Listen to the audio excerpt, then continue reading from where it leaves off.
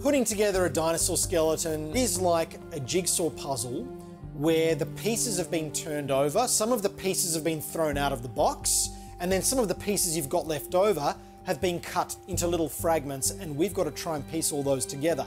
So this is a monumental challenge. For most of the skeleton, there are fundamental rules that we can follow to help us put them back together. There are other aspects of Triceratops that are unique to it that are still debated in the scientific community. How close together should its shoulder bones be? What tilts should its pelvis be on? And our challenge is to find the best evidence of the current thinking and try to make that happen in our fossil so it represents the most up to date, the most cutting edge articulation of Triceratops.